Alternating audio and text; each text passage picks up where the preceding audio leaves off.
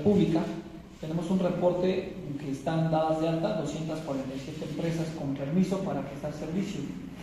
De estas, 10 tienen portación de armas, tienen permiso para portar y un total de 7.085 elementos registrados, de acuerdo a esta, a esta información.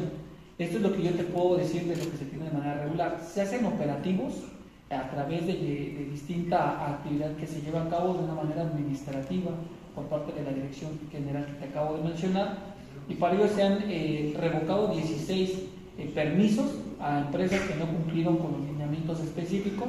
Asimismo, de dos más que cumplieron con los requisitos se volvieron a, a, autorizar su licenciamiento y cinco se encuentran suspendidas por no cumplir los lineamientos. Bajo este esquema es importante que podamos llevar a cabo la denuncia o la noticia respectiva de qué empresas son las que tienen identificados ellos, porque nosotros hacemos un, operativo para poder identificar desde el uniforme, que esté debidamente registrado, la cantidad de personas y sobre todo las personas que estén relacionadas.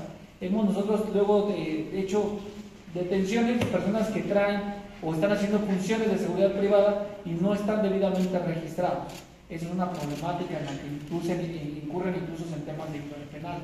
Bajo ese esquema, pues es importante que si estas personas están haciendo un señalamiento de aproximadamente 250 empresas irregulares, cierto es que necesitamos nosotros también información para poder acercarnos a ellos, exhortarnos a que los regularicen, porque también hay un procedimiento en específico.